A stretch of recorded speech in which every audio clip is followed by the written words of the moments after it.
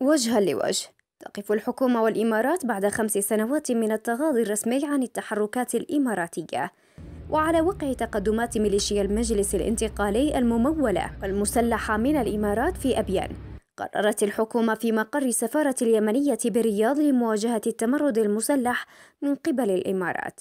وقال بيان الاجتماع الاستثنائي للحكومة أنها ستواجه التمرد المسلح للانتقالي الجنوبي بكافة الوسائل الدستورية وبما ينهي التمرد الحاصل في عدن في إشارة إلى استخدام القوة المسلحة لمواجهة التمدد الانتقالي بتخطيط إماراتي.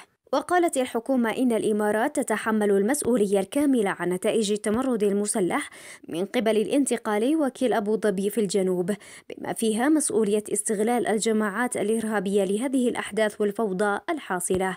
لكن بيان الحكومة أشاد مجددا بالدور السعودي في اليمن. رغم الصمت السعودي تجاه التحركات الإماراتية خلال السنوات الماضية في عدن والمناطق المحررة.